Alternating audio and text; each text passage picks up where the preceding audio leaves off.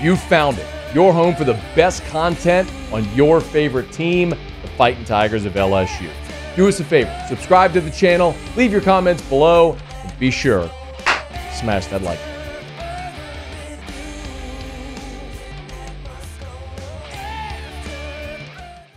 Brian Kelly met with reporters on Monday, and uh, we all watched the play on Saturday night as John Emery had a just a oh man, the first cut when he put his foot in the ground was all the flashes of potential and promise that made John Emery a five star and the number one running back in the country.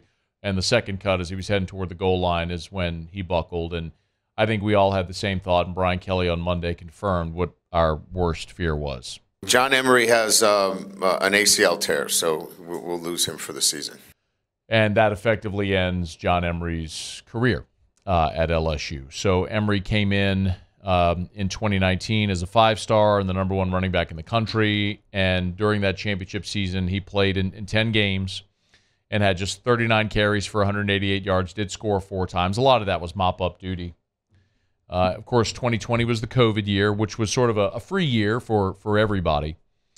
Um, and in 2021 was, of course, the year John Emery was suspended for academic violations, uh, which which take which counts as a, a year of, of eligibility. And then he, he of course returned uh, in 2022 when he didn't have to. It's one of the things about John Emery I'll pretty consistently say in his defense is John Emery, after missing the 2021 season, could have left. He was three years removed from high school and he could have said, you know what? I'm just going to go try to make an NFL roster. Talented enough to do it. Let's see, let's see if I can get into camp and go make a team. But instead, he came back to school last year. And coming back to school last year, he was still suspended for the first two games of the season. He ends up playing in 11 games. Started only twice. He ran for 375 yards and six touchdowns. It was a reception, however, that is the play he'll probably be most known for in his time at LSU, which was the wheel route against Alabama, where he put his foot in the ground on the sideline, cut back in, and scored. Uh, that just sent everybody in Tiger Stadium outside of their minds, and it was a bonkers moment, a great play. And that was one of his uh, his two receiving touchdowns a year ago. So after last year, after 2022, his fourth year out of out of high school, his fourth year, and having missed the first couple of games due to academic violation, missing the entire previous season, everyone would have been completely on board and understanding if John Emery at that point had decided, you know what, it's it's been a long journey. Went through, you know, the 2019 season as a backup, the COVID year, which was we all know we'd love to forget, being suspended academically for 2021, missing the entire season instead of going pro, electing to come back, missing the first couple of games, having a a season where you win 10 games and you win the SEC West and you get to play in the SEC championship, everyone would have understood if if if John Emery at that moment had decided to go pro. And he said, "You know what? I'm going to come back for a fifth season, a fifth season." And misses the first two games again because of academic issues but perseveres through it, keeps pushing toward getting his college degree, and now here in November of his of his what we all presume will be his final season here in Baton Rouge, um, John Emery um, tears his ACL. You're just you're gutted for him. I think we all knew it at the moment when it happened. It's a guy that could be finishing up his second NFL season. Uh, it could be in the midst of his second NFL season but instead he's he's persevered and he's come back. And and I know there's a lot of people who marry themselves to recruiting rankings and know he was a five star and had grand expectations because of those recruiting rankings. And rankings be damned. And I say it all the time. It ain't the kid's fault that he was a five star. The recruiting services made him a five star. And for all I ever heard about John Emery, I don't know that I ever heard John Emery pound his own chest about being a five star.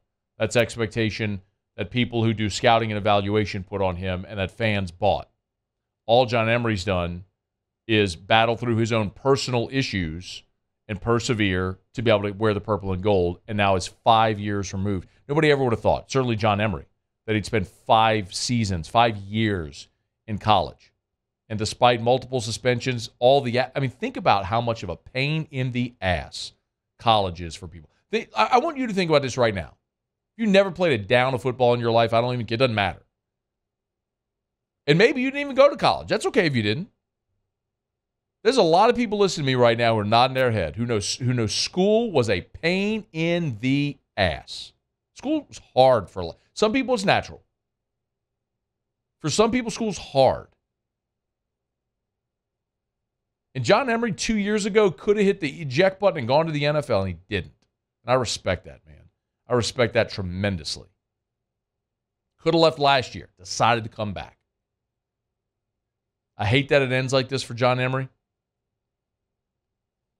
Of course, everyone gets the free year for the COVID year, but John Emery, but but the 2021 season he doesn't get back. He was suspended for that season. It's a year of eligibility removed. So really, it's the 19, 21, 22, and 23 season. So those are four seasons that he's he's used his eligibility. So he his time at LSU is done. And uh, um, I wish it would have ended better for him. You know? But the old cliche, life ain't fair. So, for whatever is next for John Emery, everybody should have his respect and should be pulling for him at the next level. Because um, he could have been gone a long time ago, and I would have understood that too. In the meantime, uh, Brian Kelly did give an update on Logan Diggs, who missed the game uh, with, uh, an, as it was termed, an upper body injury. Uh, here was the update on Logan Diggs. We'll see where Logan Diggs is. Obviously, he didn't play last week. We think he's better. Um, today, obviously, is our day off. Um, not day off, but uh, we'll just be in the weight room today uh, with meetings. We'll go out tomorrow, and, and we'll get a better sense, um, you know, as to where he is. He would be the only other. Tomorrow, of course, being Tuesday today. Um, there's no no sense in running Logan Diggs out there against Georgia State it's a great opportunity to get Josh Williams a lot of run, to let Noah Cain get out there and get a bunch of carries. Two seniors who have waited their turn patiently, and then maybe get Caleb Jackson and Trey Holly some work. Uh, it's a it's a great opportunity to get some guys a lot of playing time that, that have earned the opportunity. So no reason to play Logan Diggs this week. Just have him ready to go for Texas A&M. Hey, thanks so much for watching. Please leave your comments. I love to interact, and be sure to hit the red subscribe button below.